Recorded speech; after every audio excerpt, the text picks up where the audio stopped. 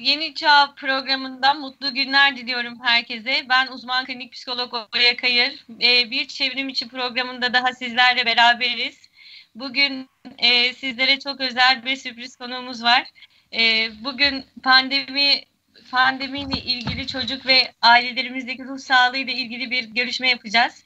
E, konuğumuz Profesör Doktor Ali Evren Tufan. Çocuk ergen psikiyatrimiz. Pandemi döneminde evlerde e, çocuklarımızla ve ailelerimizle ruh sağlığımız nasıl? E, hocam bizlere güzel bilgiler verecek. Kendisi buradalar mı? Hocam hoş geldiniz. Hoş bulduk Oya Hanım. Çok teşekkürler davet ettiğiniz için. E, hocam nasılsınız? Pandemi dönemini nasıl geçiriyorsunuz? Ee, iyiyim. Çok teşekkürler Oya Hanım. Pandemi döneminde de hani sağlık çalışanları olarak tüm gücümüzle çalışmaya devam ediyoruz. Gerçi hani biz daha çok o, ruh sağlığı alanına destek vermeye çalışıyoruz ancak yine yoğun olarak devam ediyoruz diyebilirim. Evet hocam pandemi döneminde e, yine evlerde geçiriyoruz hepimiz. Pandemi döneminde çocuklarımızın beden ve ruh sağlığını e, etkileyecek değişimler neler oldu? Bunlardan biraz bahseder misiniz? Ee, çok güzel bir soru. Çok teşekkür ederim Oya. Pandemi dönemi e, gerçi hani hem programlarda hem araştırmalarda daha çok e, beden sağlığı açısından değerlendiriliyor. Ancak e, toplumun da ailelerin de bireylerin de e, ruh sağlığının bu dönemde etkilendiğini akılda bulundurmamız gerekiyor diye düşünüyorum. Pandemi döneminin çocukların e, ve ailelerin ruh sağlığına etkisini değerlendirecek olursak ilk olarak tabii ki salgının yayılmasının önlenmesi için okullar ve hani e, sporla spor kulüpleri diğer e, eğitim verilen ortamların e, kapanması e, çocukları tabii ki etkilemiş oluyor. Böylelikle çocuklar hem fiziksel aktivite bakımından daha kısıtlanmış oluyorlar fırsatları bakımından hem de akranlarıyla daha az etkileşime girmiş e, olabiliyorlar. Uzaktan eğitime erişimde e, kısmen zorluklar yaşanabiliyor. Süreç uzadıkça çocukların derslere motive olması, dikkatlerini sürdürebilmeleri biraz daha zor olabiliyor. E, bu tabii ki hem öğretmen tarafında hem öğrenci tarafında geçerli. E, yine hani ailece kapalı bir ortamda bulunmak süreç uzadıkça çatışmaları alevlendirebiliyor. Özellikle de ergenlik döneminde çocuğu olan ailelerde diyebiliriz. Çünkü ne, siz de muhtemelen daha önceki programlarda paylaşmışsınızdır. E, ergenlik özellikle ilgili çatışmaların ön plana geldiği e, ve aileden uzaklaşmaya çalışılan akran çevresinin önem kazandığı bir dönem. Ergenler dolayısıyla bu eve kapanmayı ve ailece iç içe olmayı biraz daha olumsuz değerlendirebiliyorlar. Diğer taraftan erişkinler olarak anneler ve babaların da ruh sağlığı etkilenebiliyor süreç uzadıkça.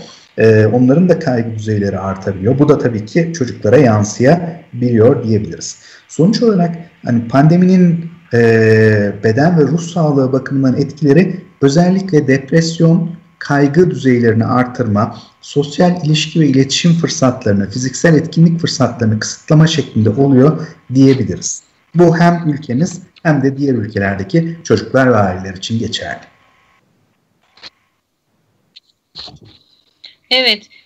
Ee, bu konuda peki hocam yapılmış olan araştırmalar var mı? Ee, ne gibi araştırmalar oldu? Bir de biraz bilgi aktarabilir misiniz? Çok teşekkürler Oya Hanım. Ee, evet bu konuda yapılan araştırmalar var. Ee, hem ülkemizde hem diğer ülkelerde e, yapılan araştırmaların sonuçları da e, yaklaşık %50'lere varan oranda yalnızlık, e, depresif yakınmalar, kaygı yakınmalarının e, çocuklarda ve e, erişkinlerde görülebildiğini bildiriyor. Aynı zamanda e, çocukların yine yapılan araştırmalarda elde edilen bulgulardan bir tanesi bu pandemi sürecinin uzaması ile birlikte çocuklarda uyku ve beslenme sorunları da ön plana geliyor.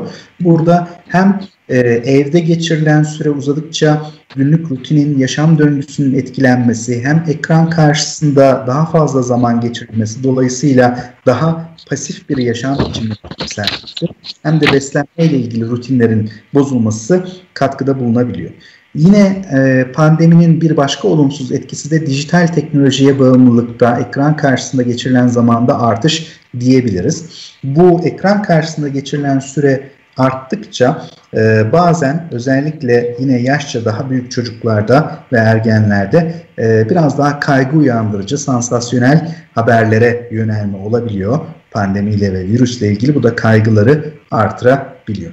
Yine hemen hepimizin yaşadığı, duyduğu olaylardan bir tanesi yakınların, tanıdıkların hastalanması, ölümleri e, kaygı uyandıran faktörlerden bir tanesi. Evet. Ee, evet ölümlerde hepimizi çok etkiledi. Gerçekten çocuk ve aileleri e, ciddi anlamda etkiledi bu süreçte. E, peki aileler ve ebeveynler çocuklarının beden ve ruh sağlığını nasıl koruyacaklar bu ev ortamlarında?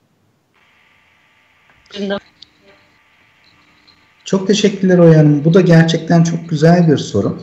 Ee, burada hani, temel olarak ilk yapılması gereken e, sanırım ebeveynlerin, erişkinlerin kendi e, ruh sağlıklarını korumaları. Kendimiz sağlıklı olursak e, çocuklarımıza, ailemizin diğer üyelerine de daha faydalı olabiliriz diye düşünüyoruz, düşünebiliyoruz. E, kendimiz nasıl sağlıklı olacağız diyecek olursak hem kendimiz için hem de aile üyeleri için zamanı yapılandırmamız gerekiyor. Yani aile üyelerinin belli saatlerde uyumaları, belli saatlerde uyanmaları, e, yine öğünlerin mümkünse planlanması, belli saatlerde olması e, ve aile üyelerinin, tüm aile üyelerinin e, uygun önlemler sağlandıktan sonra e, fiziksel etkinlik için fırsatlarının sağlanması faydalı olabilir. E, çocukların akran etkileşimi e, oldukça önemli.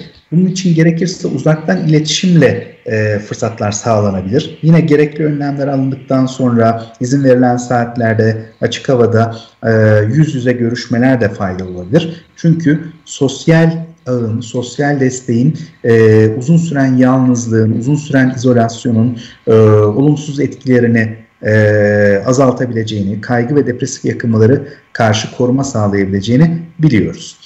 Aile içi iletişim uzun süreli bu kapanmalarda tabii ki etkilenebiliyor.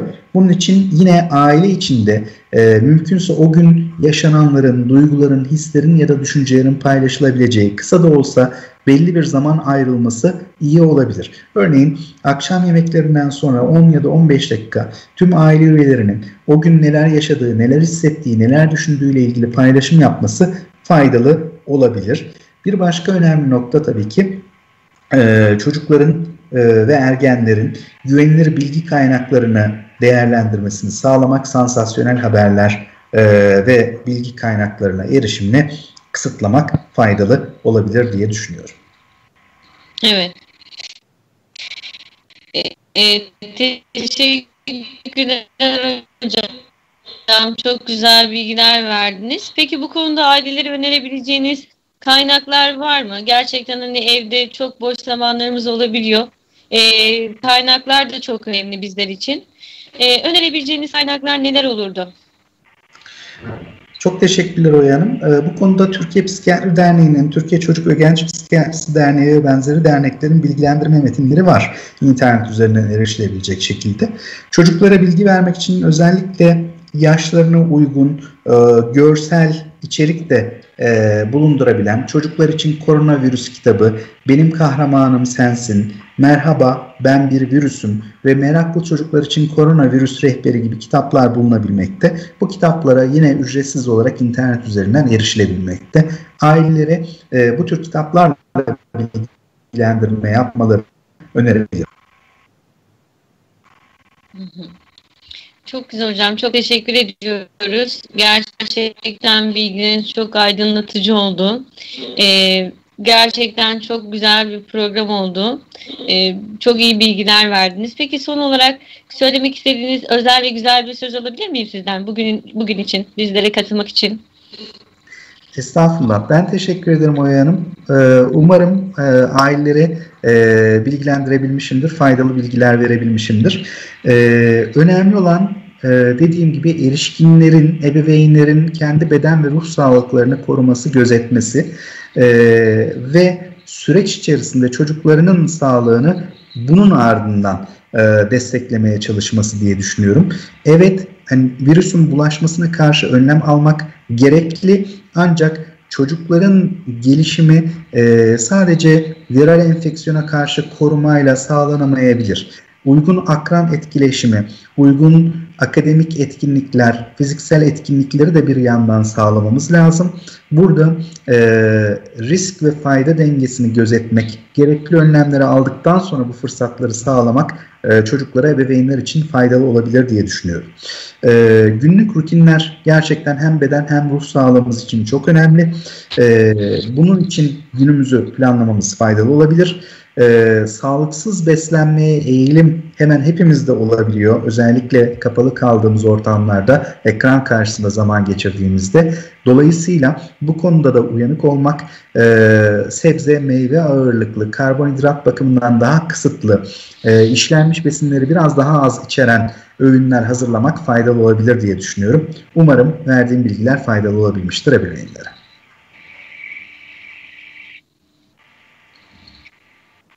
Evet hocam tek çok teşekkür ediyorum. Ee, çevrimçi programında tekrar sizleri görmekten e, başka bir konuyla tekrar sizleri görmekten çok mutlu olacağım. Ee, herkese çok teşekkürler. Bir çevrimçi programında tekrar görüşmek üzere. Hoşçakalın diyorum. Çok teşekkürler. Görüşmek üzere başka bir programda. Elinize emeğinize sağlık koyan.